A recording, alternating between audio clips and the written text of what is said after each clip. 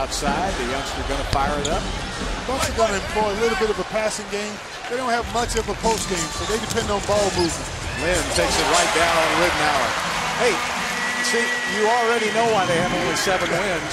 There was nobody underneath.